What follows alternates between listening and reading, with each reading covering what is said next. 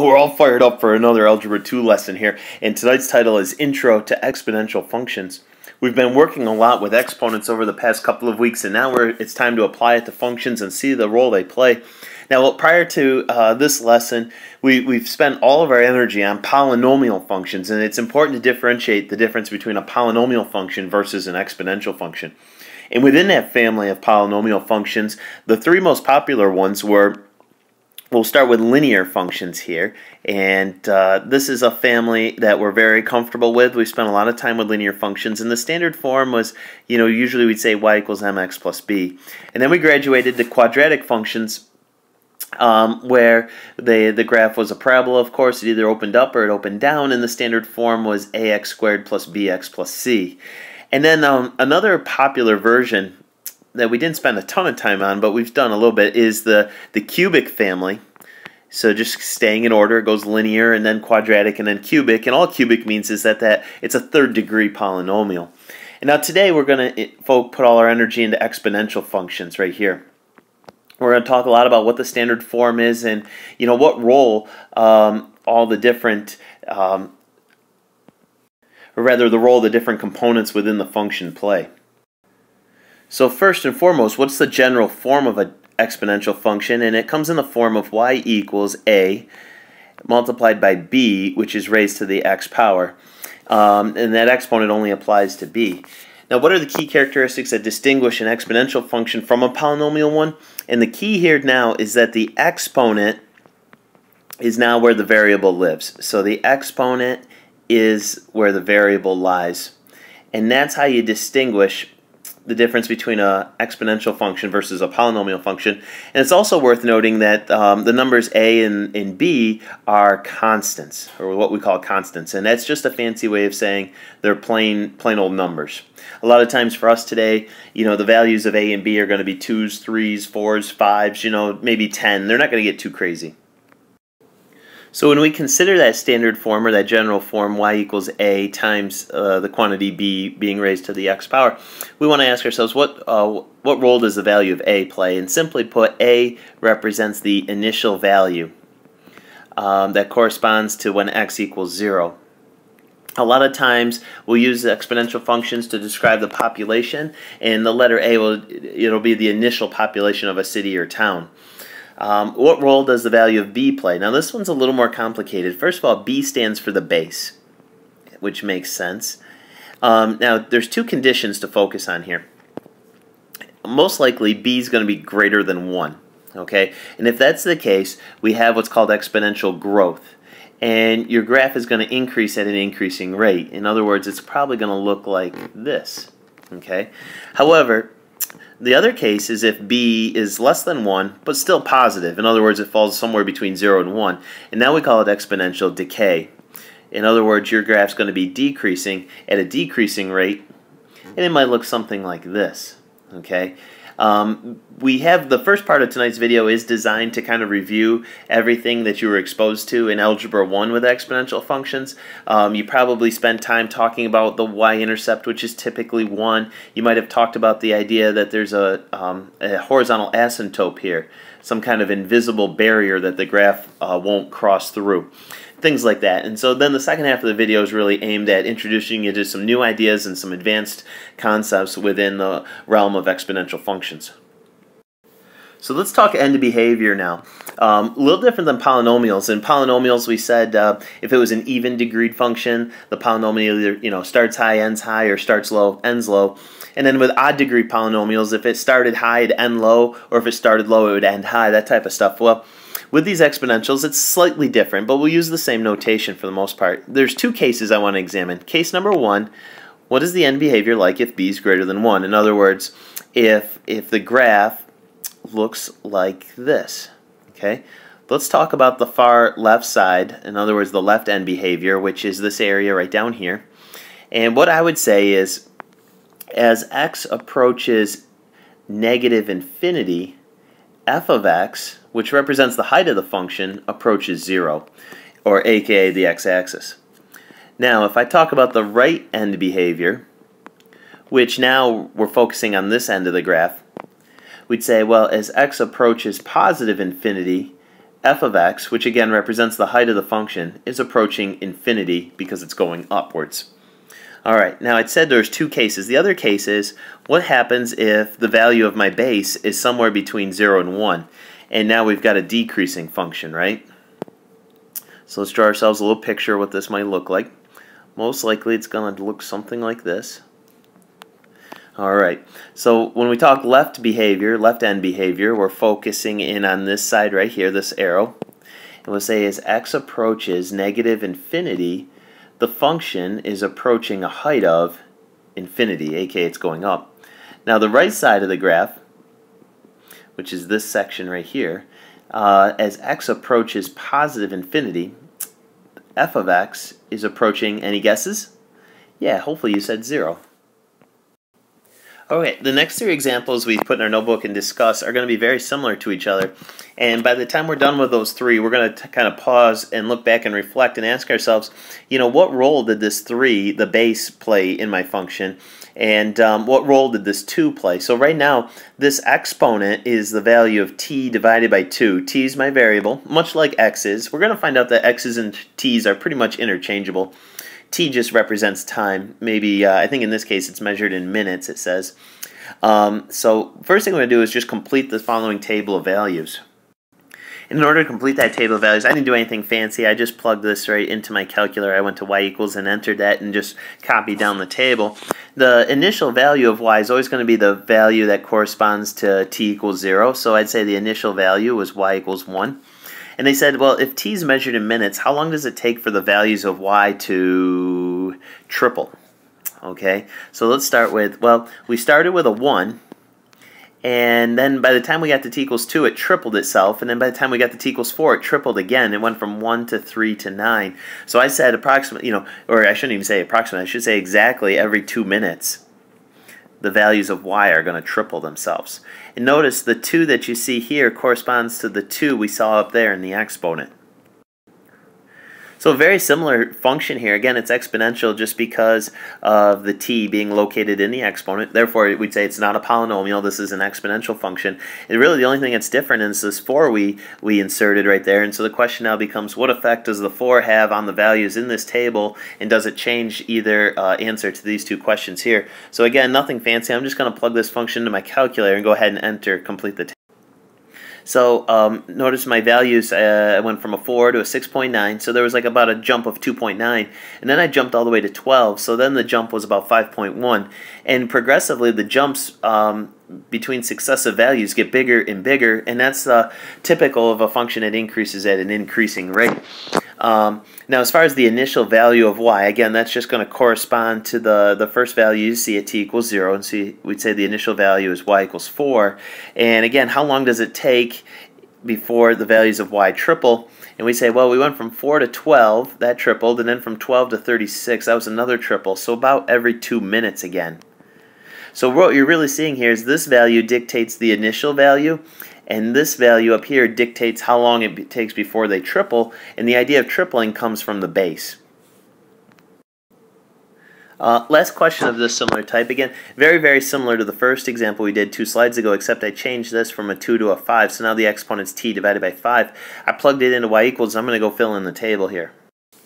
Well, I cheated just a little bit. I kind of just picked out the nice values I saw of y. I didn't worry about all the decimals just because of the questions they were asking. But as far as the initial value, that'll again be the value of y that corresponds to t equals 0. So y equals 1 is my initial value. And how long does it take before the values of y triple? Well, in this case now, it, it uh, when I got to two minutes, it hadn't tripled yet. I had to wait all the way until I got to t equals 5 before that initial value tripled. And then again, we had to wait till we got to t equals 10 before that value then tripled itself. So I'd say every five minutes, the value of y is going to triple. And again, you could kind of see where that corresponds uh, to the 5 we have hiding up there in the exponent. So reflecting on the last three examples, we want to ask ourselves, what have we learned or what could we surmise? So in, in this first example here, um, again, it's an exponential function because of where the t is located. Um, and we could say that, well, the 10 here, that's my initial value. So I'll put a little IV there. That's, uh, you know, so when t equals 0, the y value would be a 10. And then what we're going to say is that these y values, they're going to double Notice I didn't say triple. They're going to double because of the base right here. This number right here, B, dictates whether we triple, double, whatever. We're going to double every how often? We're going to double every four minutes or seconds or whatever the unit of time happens to be. And that four dictates how long it takes before we double. On this next example, we'll say 15 represents the initial value. And then in this case, we're going to quadruple. Why do we quadruple? Well, because of the base here was a 4, we're going to try quadruple every how often? Well, what are you dividing the t by, really? Um, just a 1. So we're going to quadruple every 1 minute. Well, we're going to try it first here on this slide. Um, what I've tried to do is I've tried to embed a video just within our video, and we're going to give it a shot. We'll see if it works. But here's the story. It says, assume that there's initially one centimeter of water in a tank, and that the height of that water doubles every 10 seconds. And the, as soon as you see the word doubles, you, you kind of got this feeling that it's exponential in behavior. They want you to write an equation that can be used to calculate the height of the water in the tank at any time t. So let's go ahead and, and I'm going to try to play this video here if I can. Maybe. And so what you're going to see here in the lower left hand corner is this is how many seconds has elapsed. And right now you see like it's very hard to notice uh, whether the height of the water is increasing or not. And that's because the, the tank is so deep that it's a negligible change so far. But be patient. And eventually we're going to start to notice a, a change in the height here. Starting to grow just a little bit. And now you're going to start to see it take off like a rocket.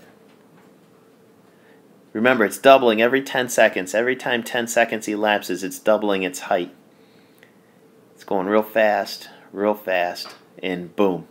So one of the things that, uh, and it, is, it was kind of wild, that you know, almost half the video had elapsed and we hadn't even noticed a darn thing and then at the end it kind of took off and we want you to gain an appreciation for the power of exponential growth over the course of these next few days and uh, one example might be you know, imagine um, your parents made a proposal that uh, they want to they want to give you a daily allowance, and on the first day of the month, they wanted to, uh, your allowance was one penny. And you're like, oh, that's a rotten deal. And then each day thereafter, your allowance is going to double. So on day two, you'd receive two pennies, and on day three, you'd receive four pennies. Uh, four cents would be your allowance, and so forth and so forth. And my question to you tonight is, would you sign up for that deal? But and maybe you could try to figure out what exactly would my allowance be on the 30th day or the 31st day of the month is that is am i getting a good deal out of that or are my parents kind of in a sneaky way ripping me off so um, interesting uh, it'll be interesting to hear your thoughts on that tomorrow so here, back to that original question that we just proposed uh, before watching the video, I'm going to try to write an equation for that function. And instead of saying, um, you know, f of t, uh, we're going to use the notation h of t because uh, h represents height very nicely. And uh, for my initial value, I'm going to use 1. And then for my base, I'm going to use a 2 because they talked about the water doubling. And they said it's going to double every 10 seconds. So I need to divide that t by 10, and that's going to kind of offset it and, and delay the doubling until the 10th second and so on. Now, how would that equation change if the initial depth was changed to a 3? Now, that's only going to impact one thing, and that's the value of a in this case. And so instead of saying 1, we're going to say 3 times 2 uh, raised to the t divided by 10 power. What if the initial depth was 400? Again, I think it's important for us to appreciate that the only thing that that changes is the a value. The base is still a 2, and the exponent is still t divided by 10.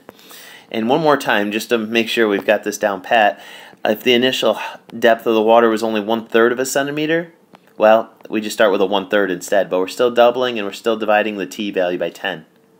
Okay, if we go back to that original function that we built in the very first part of the question, what would change if the height tripled every 10 seconds? So instead of doubling, we're now tripling. And basically, that's just going to change my base. Um, it shouldn't affect anything else. The initial value would still be 1. We're now base of 3. And the exponent is t divided by 10. Now, what if we tripled it every 25 seconds? Now that 25 is going to affect what I'm dividing by up there. It's almost kind of like a delay factor. Uh, we said, you know, we don't want it to triple until we get to the 25th second, um, so we kind of divide by 25. Quadrupling, that's going to affect my base. So we've got initial value of 1, we're going to quadruple it, and it's going to be every 2 seconds, so I need to delay it by dividing by 2. And then if we get cut in half, every 10 seconds.